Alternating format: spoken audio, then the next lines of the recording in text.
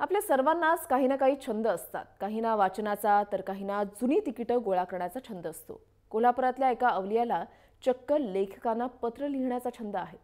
चंद्रकांत कोकितकर यांनी आजपर्यंत चक्क पाचशे लेखकांना पत्र लिहिलेली आहेत एकोणीसशे शहाण्णवपासून त्यांनी लेखक कवींना पत्र लिहायला सुरुवात केली. सर्वात आधी त्यांनी कुसुमाग्रज यांना पत्र लिहिलं आणि त्यानंतर पु. ल. देशपांडे विदा करंदीकर नारायण सुर्वे गंगाधर गाडगीळ अशा अनेक लेखकांना त्यांनी पत्र लिहिलेली आहेत.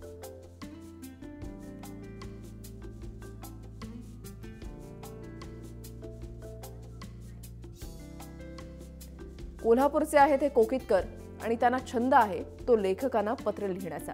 गेल्या अनेक वर्षांपासून ते लेखकांना पत्र लिहित आहेत आपलं मत व्यक्त करतायत.